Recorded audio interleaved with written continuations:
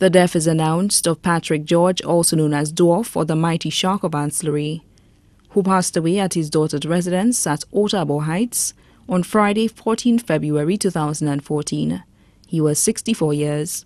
The funeral service for the late Patrick George, also known as Dwarf or the Mighty Shark, will be held at the Holy Family Catholic Church in Jacmel on Thursday, 27 February 2014 at 3 p.m. His body will then be laid to rest at the Jacmel Cemetery. The body now lies at the Cricks Funeral Home Vide Bouteille Castries.